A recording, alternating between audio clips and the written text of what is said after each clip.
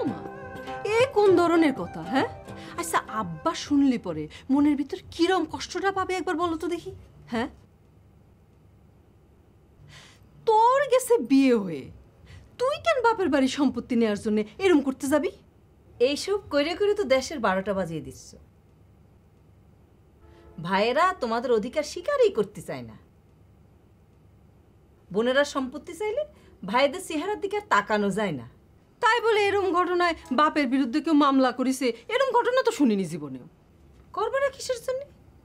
বাপ যদি আইন অমান্য করে বেআইনি কাজ করে, তাহলে পরে সে আইনের আশ্রয় নেওয়ার অধিকার রাখে না? ও হাসেম ভাই, একটু এদিকে আসেন তো।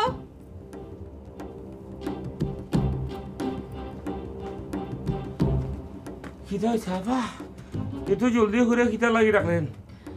আপনি একটু হ্যানারে থামান। হ্যাঁ? সেসব কি বলতেছে?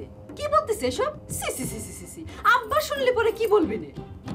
হ্যাঁ না এমন কি বাজে কাজ করছে আম্মা? আমার একটু বুঝাই বলবেন কি? আমি তো কোনো কথা আবার বুঝতে পারতেছি না। সেরাম কিছু না বাবা। ওই তোমার শ্বশুরের বিষয়ে একটু ও আমার শ্বশুর আব্বার বিষয়ে? আমার শ্বশুর আব্বার বিষয়ের তো কোনো শেষ নাই আম্মা। ওনার যত বিষয় আছে ইত্যাদি দিয়ে চারটা উপন্যাস বইলা হয়ে যাইব।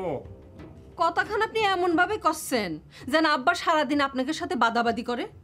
দেখেন আফা আপনারা সোজা সুজি বাঙিয়ে একটা কথা বলি। আমরা হচ্ছে আব্বার আপন লোক, আপনার আপন লোক। আব্বা অন্যদের সাথে যেটা করে, আমরা অটোমেটিক সেই হিস্ট্রির মধ্যে কী করে জানি হান্দায় যাই। এখন মনে করেন যে আমরা যদি আব্বার ফল লোক হইতাম, আপন লোক না হইয়া অটোমেটিক আব্বা আমাদের সাথে সেম কাজটাই করতো এবং অটোমেটিক আপন লোক হিসাবে যে সামনে থাকতো, তারা ফেঁচায় পুচালো হয়ে যেত আমি যুক্তি যারা কোনো কথা কই না। আইনের লোক হিসাবে সবসময় যুক্তি দিয়ে কথা কই। আম্মা, আপনি কি বলেন? সে বাবু সবার সাথেই করত। অধিকারের কথা বললে তার চেহারার পরিবর্তন হয়ে যায়। এই যে একটু আগে, সে আমার সঙ্গে একই কাজ করে গেল। আমার ছেলে মেয়ের অধিকার তো আমারই দেখা লাগবে। আমার মিন্টু, আমারে কয়ে গেল, আম্মা, আব্বা যা শুরু করেছে, তারপরে আমার ছেলে মেয়ের কাছে আমি কি জবাব দেবো? ওমা ও তো এখনও বিয়ে শাদি করে নাই, তো তার আবার ছেলে মেয়ে আসলো কোথার থেকে? আমার ছেলের কি কোনোদিনও বিয়ে হবে না নে? হবে আম্মা, কেন জানি মনে হয় ওর বিয়ে আসরের ময়দানে হবে, আবার এখনও হইতে পারে।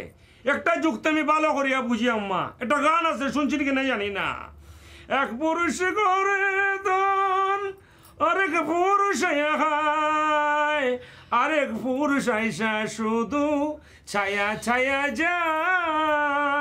আমরা তিন পুরুষ তিন পুরুষ তিন পুরুষ গো। এত ছলাখলা বুঝি না ফা। আমার নিজেকে সম্পত্তি ভাগ বাটোয়ারা করে দিয়ে দেন। আমরা খাইয়া দিয়ে চলে যাই। এত ছলা ছলাখলা আমরা বুঝি না।